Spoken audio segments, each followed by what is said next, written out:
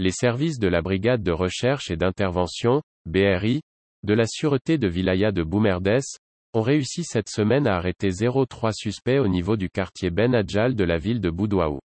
Âgés entre 51 et 62 ans et venant de la Wilaya d'Alger, les mis en cause ont été trouvés en possession de deux sacs contenant 44 émetteurs radio pour communication sans fil et 8 paires de jumelles.